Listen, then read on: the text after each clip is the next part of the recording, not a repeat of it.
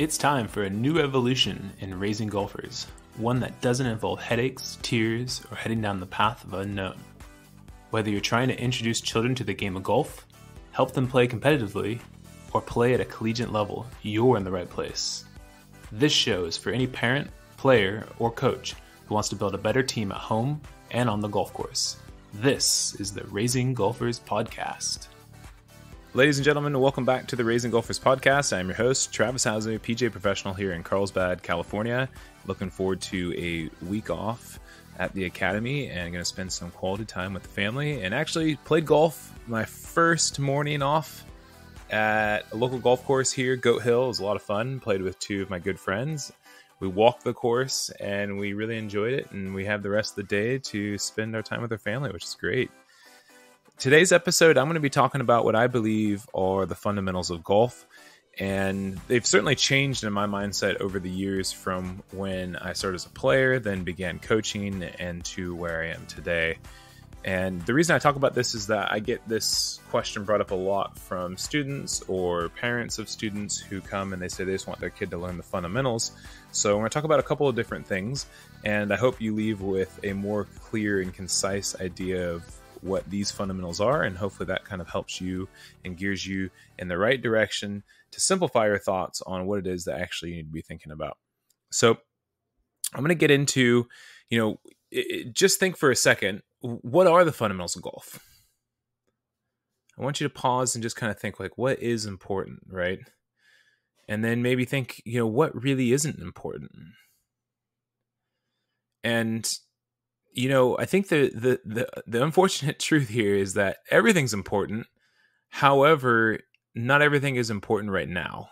And we have to think about, you know, what it is that we need now and what's going to help us best. So, let's talk about different phases of golfers. So, I'm going to go into really I, I, guess this would cover most golfers but this is how i would look at somebody who's coming for private golf lessons so let's just say this golfer is upper intermediate you know the reason why they're coming for a private golf lesson is that they're driven they want to take their game to the next level so the first fundamental that i believe somebody should have is the ability to control where the club hits the ground. And I think that's the most important one.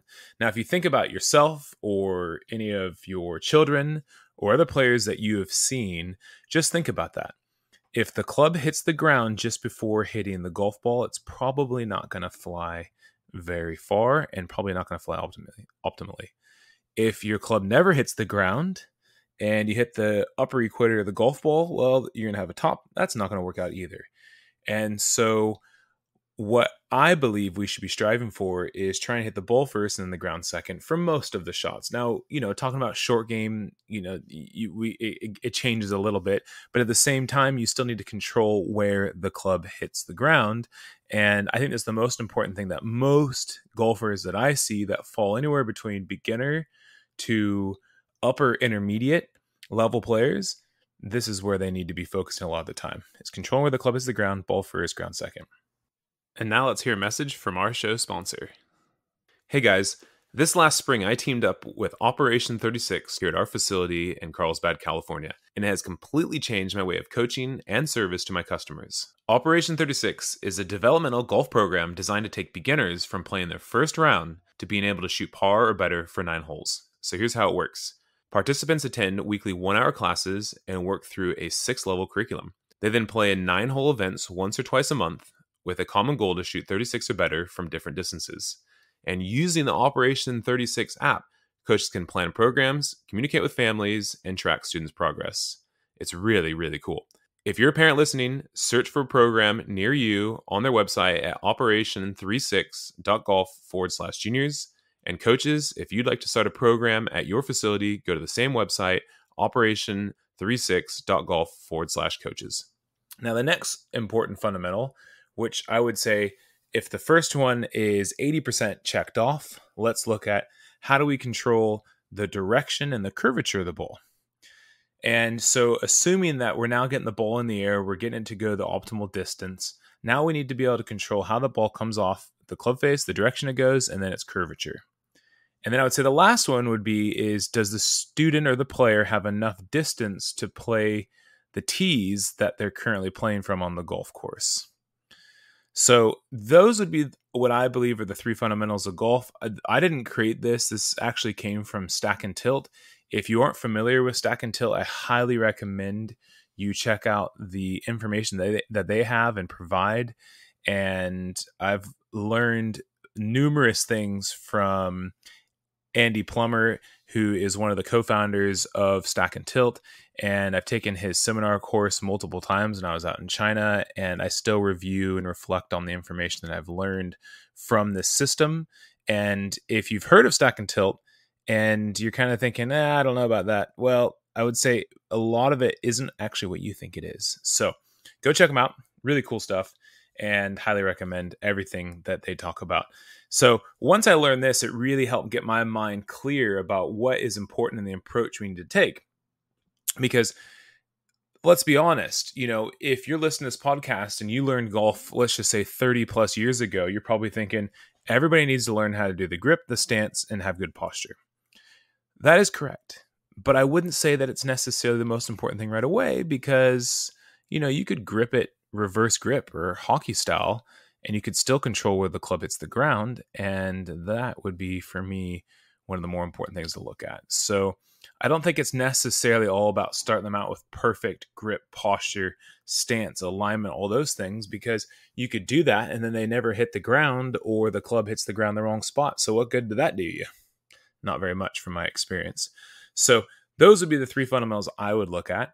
And then talking about children specifically, I think it's important that they try many areas and have them try out different areas like grip, stance, posture, all those kinds of things at some point. And again, it doesn't have to be right away and definitely doesn't need to be all one lesson at some point in a skills and play based environment.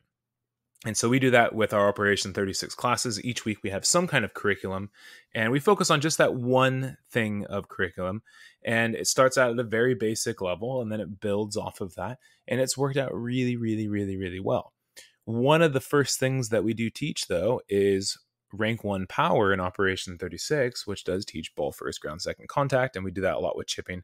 The kids get confused when we say, All right, kids, we're going to learn about power today. And they're like, All right, drivers. And then we start doing chipping. And, you know, for a short moment, like, Oh, but then they start playing some fun games. And so it's, it's, it's awesome. It's a lot of fun. So, what I would say is if you're thinking about the fundamentals or, you know, the perfect setup and stance, especially if you're, you know, working with a junior golfer, I'd say don't sweat don't sweat the small stuff, and I would even say don't sweat the big stuff yet either. You know, at some point those things will all be important, and we will have to refine those things. But you know what? I want to leave you with this. Let's give them time. We have to be patient and allow them to love the game first. And trust me, there is a good chance that many of the things and issues that you see will actually fix themselves. I've seen it day in and day out with junior golfers who stick with the sport. They're enjoying it, they're immersed in the game, and they're loving everything about the game of golf. So, thanks so much for tuning in to this week's episode, and look forward to having you here next week on the podcast.